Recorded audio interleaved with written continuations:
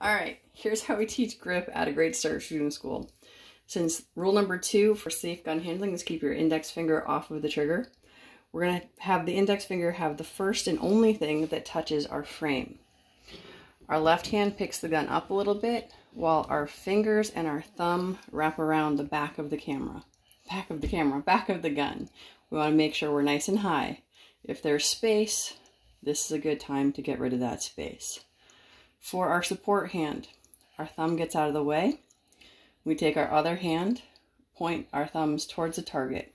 We start at the top of the gun again. So thumb goes on the frame, palm goes on the grip, fingers wrap around. We want to make sure our fingers are wrapping around and touching the trigger guard each time.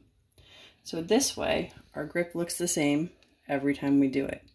And by doing it in pieces, one, two, three, we're very likely to have the same grip each time.